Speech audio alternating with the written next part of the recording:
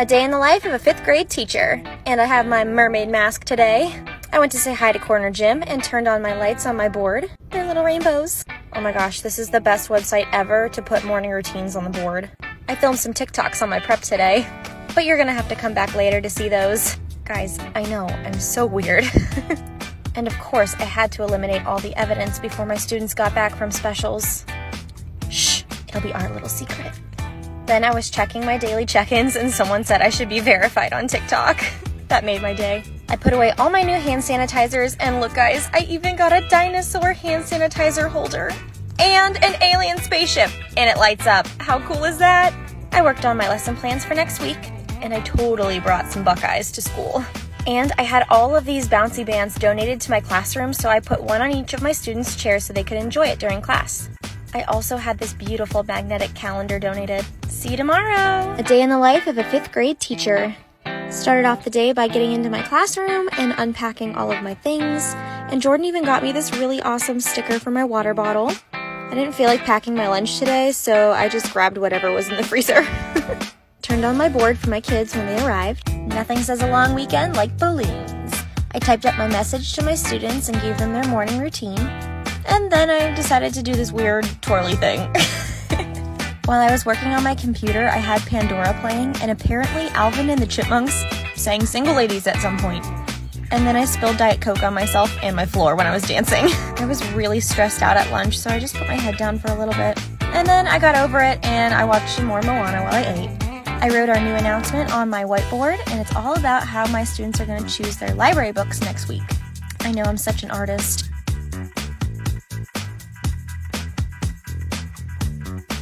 Day in the life of a fifth grade teacher. Didn't Tater Tot look so cute this morning? Walked in school and got my temperature checked. Good to go. And I went and unpacked all of my things from my backpack. Wow, I look so miserable. I always bring a sweater to work and then I end up never wearing it. I picked Nemo for my background today. Then I wrote my students' names on these bookmarks so they could use them during silent reading time. I did a lot of lesson planning.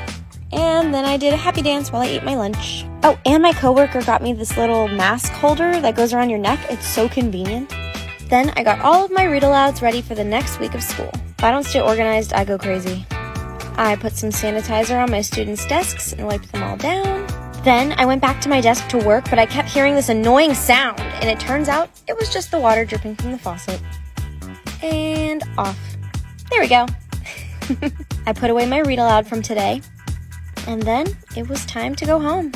See you tomorrow. A day in the life of a fifth grade teacher. I had such a crazy morning, I couldn't even film, but I finally got back to my room and then I realized I had to put my mask back on because I forgot to grab my copies from the printer. I was printing out these awesome 9 11 coloring sheets for my students. On the way down, I saw this awesome bulletin board that the school had put up, and look, I'm Horton the elephant. I had to call the tech guy to help me with the printer, and then we finally got them printed, so I did a happy dance.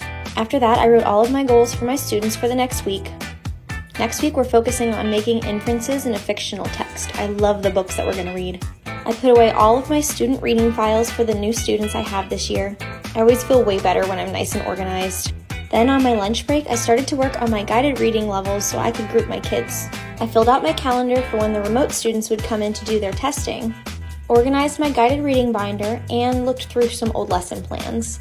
Then it was time to go home, so I turned off my lights, gave Corner Gym a hug, and then I left for the weekend. Bye. A day in the life of a fifth grade teacher. Happy Monday! I got to my classroom and my poster fell off the wall, so I had to fix that.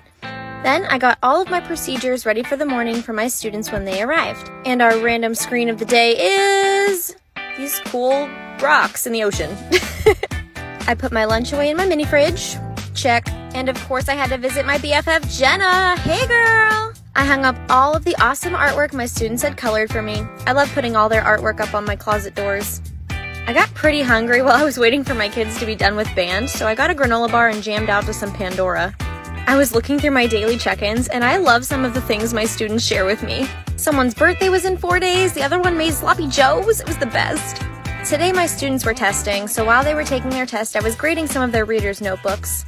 They did so great on them, guys. Finally, I got cleaned up, turned off my lights, and it was time to go home. See you tomorrow. A day in the life of a fifth grade teacher.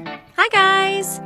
I started off by putting my lunch in my fridge, and then, of course, I had to restock on some blue Gatorade and some Diet Coke because we all know it's my favorite. Check. And today's random screen is this colorful bird. Here's a shot of me being really weird and eating a sandwich and then failing. Then, while my kids were at band, I filmed my question video of the day. So look out for that a little bit later. I had a Google Meet with my remote students today, and I was so excited because we got to look back in a book that we read together. And the majority of them had gotten new puppies, so we officially named it Puppy Week. Ooh, I grabbed a knife instead of a spoon this morning for yogurt.